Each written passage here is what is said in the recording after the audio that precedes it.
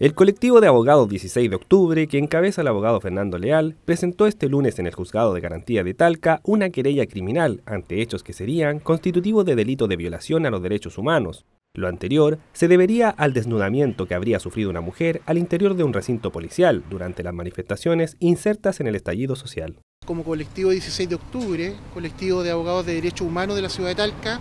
en la mañana de hoy hemos interpuesto una querella criminal junto a mi colega María Paula Poblete precisamente por el caso de una joven talquina que habiendo sido detenida en el contexto de las manifestaciones sociales, eh, en un contexto en donde ella eh, junto a su pareja prestaba ayuda a los heridos y a las personas que se veían afectadas por las bombas lacrimógenas, eh, fue detenida, fue llevada a la tercera comisaría de Carabineros y fue obligada a desnudarse.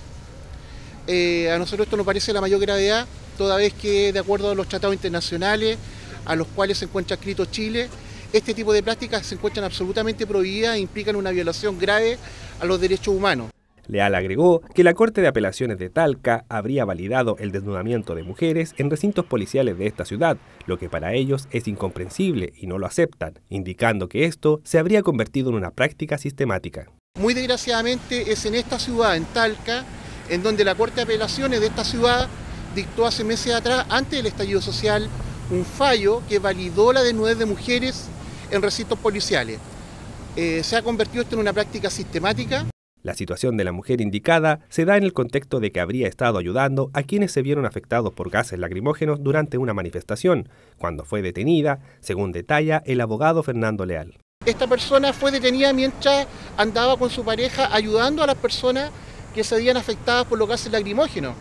Eh, fue pasada a control de detención por desórdenes públicos y en el contexto de su detención la policía aprovechó de abusar y de hacerla desnudarse y hacerla hacer sentadilla, lo cual nos parece que no puede seguir ocurriendo en este país. Agregó el colectivo de abogados 16 de octubre que en la región habría 20 casos en procesos investigativos en esta línea y que existirían además una cifra negativa a nivel país que alcanzaría una cantidad de 800 casos más, que incluiría a menores.